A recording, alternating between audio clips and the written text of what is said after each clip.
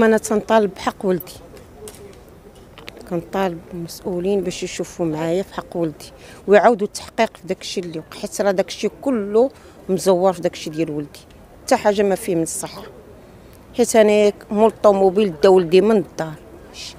كيفاش الدري مضروب بكسيده وتيعاود قال لك جات هزاتو لابيناس وهو جا لدارهم عادي ما شي حاجة حتى خبشة بالموس ولا ضربة باش تبان في, تريكو اللي لابس انه مضروب ما كاينش هادشي ما بانش ليا وأنا كنطالب بحق ولدي طالب جلاله الملك سي الحموشي باش يشوفوا لي في هذه القضية ديال ولدي.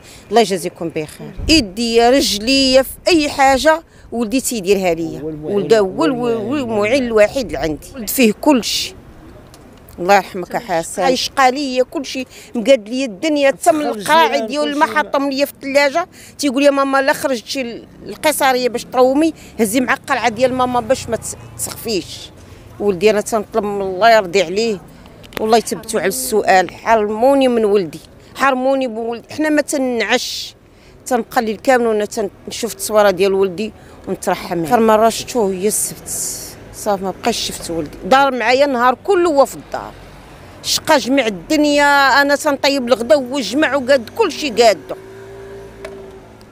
حتى لديك الوقيته اللي هذا سميتو اللي مشى جيب الموتور ديالو ما بقاش رجع.